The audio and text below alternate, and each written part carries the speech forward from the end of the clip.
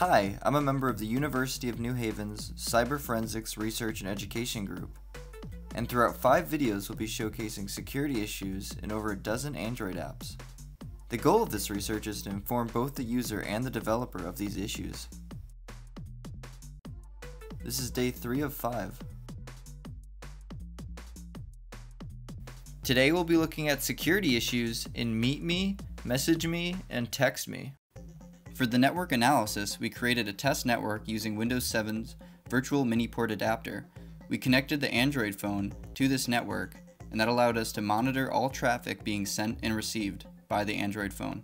An iPad was connected outside the test network and was used to exchange data to the Android device. Okay, so our Android device is connected to the test network, network miner's up and running, and our Android device is about to send a message to the iOS device in Meet Me. And once the key phrase Game Boy Color is sent, it is picked up a network miner. And once the message Uncle Tito is received from the iOS device, it is also picked up in network miner unencrypted.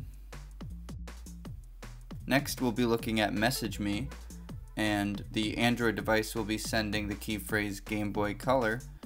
And once it's sent, it is picked up in network miner. And once the key phrase Applebed is received from the iOS device, it is also picked up in network miner. Next, we'll be sending an image to the iOS device. And that is instantly picked up in network miner. Next, we'll be receiving an image from the iOS device and that too is picked up in network miner. Next we'll be sending and receiving a doodle, however only the received doodle was picked up in network miner. Next we'll be sending our location, which is instantly picked up in network miner, and then the iOS device will send its location to the Android device, and that is also instantly picked up in Network Miner. Next, we're going to open up NetWitness Investigator to examine an audio file that was sent from the Android device to the iOS device. When we click on audio slash mp4, we can see that there is a downloadable audio file. This shows that there are security issues with music files in MessageMe. We recorded network traffic in Wireshark to see if files remained on the server. For MessageMe, we found a video that we sent weeks ago, still on their server, unencrypted and without authentication.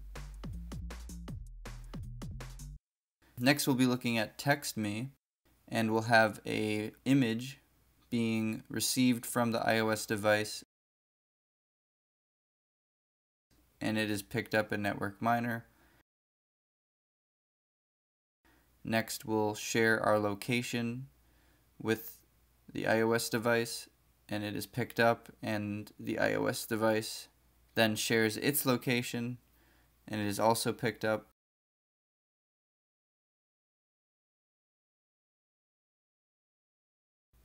Then using Helium Backup, Android Backup Extractor, and SQLite database browser, we were able to view the TextMe database file, which stored our password in clear text.